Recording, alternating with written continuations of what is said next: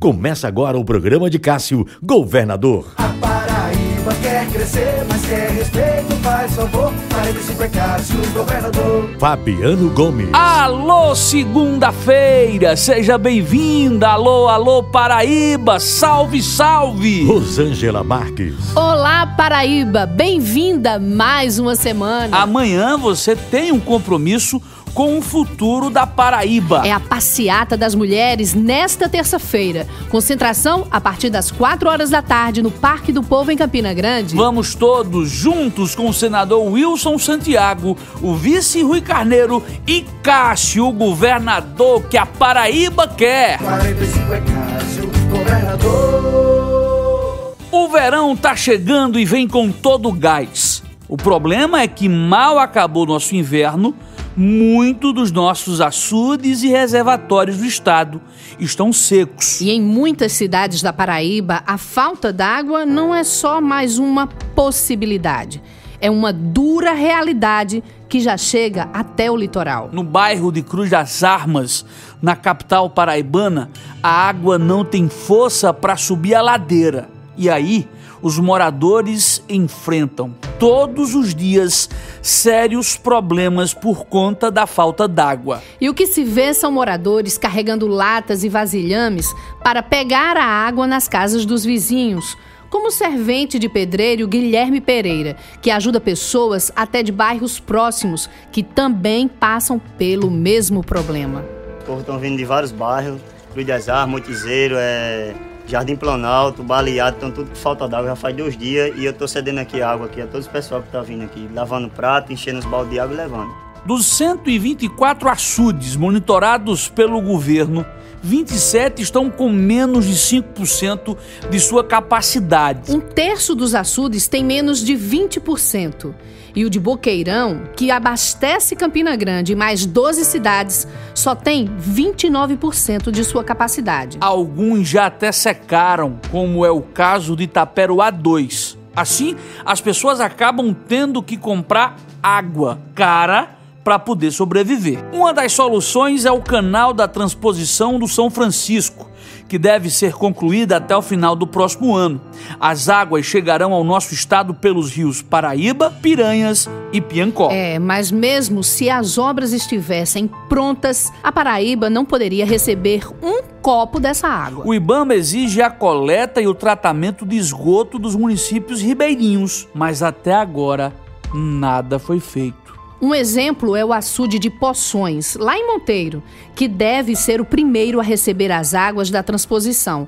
Está bastante poluído, porque não foi feito o saneamento básico. A situação é tão grave que o esgoto corre a céu aberto, em frente à estação elevatória da Cajepa, em Monteiro. O funcionário público Antônio dos Santos, morador da região, lamenta a situação. Não tem condição da transposição passar por aqui.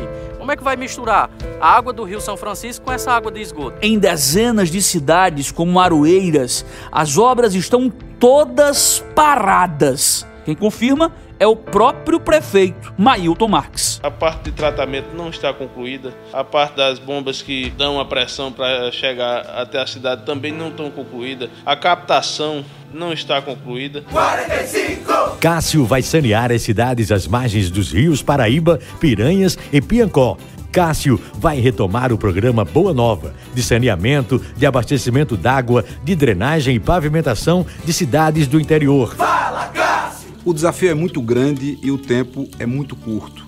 O investimento é alto, temos menos de dois anos para projetar, licitar e executar a obra. Mas com muito trabalho e dedicação, com a parceria dos paraibanos, nós vamos conseguir. A Paraíba não pode abrir mão das águas de São Francisco.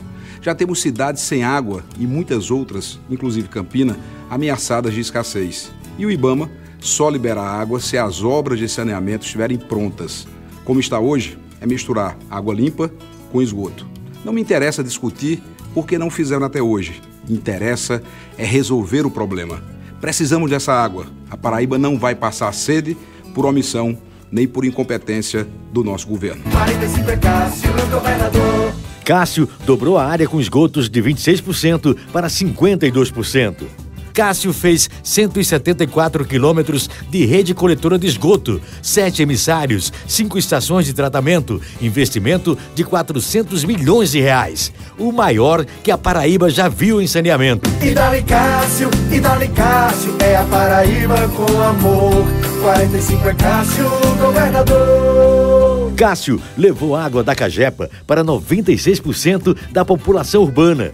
Fez 12 adutoras com 277 quilômetros, 27 estações de tratamento de água, 155 quilômetros de rede de distribuição, 15 mil cisternas rurais. Ao sair do governo, Cássio deixou em construção as adutoras de Acauã, Patos Assunção, Capivara, Alcantil, a segunda etapa da adutora do Congo, a quarta adutora de Campina Grande e a adutora Abiaí Papocas, depois chamada de Translitorânea em João Pessoa, beneficiando 34 cidades e seis distritos. Cássio faz tudo na paz, tudo bem feito, bem feito Cássio quer levar água de beber às propriedades rurais, através de poços artesianos ou tubulares, de cisternas e de barragens subterrâneas. 45! Levamos água da Cajepa para mais de 90% da população urbana. O desafio agora é levar água a todas as cidades e de olhar mais para a população rural e para garantir água de beber, a agricultura familiar em cada comunidade. Vamos retomar os programas de cisternas, de chafarizes comunitários. Vamos retomar o programa de saneamento, concluir as adutoras paralisadas ou as obras que estão se arrastando. A Translitorânea, que vai trazer mais água para João Pessoa, foi iniciada há quase sete anos, ainda no meu governo, mas nem a primeira etapa terminou ainda. Vamos concluí-la. Se merecer o seu voto, a Paraíba vai ter água para beber e para trabalhar. É Cássio! Amanhã, terça-feira, a tradicional passeata das mulheres aí na Rainha da Borborema. A concentração é no Parque do Povo às 4 horas da tarde. Mulheres, vamos acompanhar Cássio! Eu vou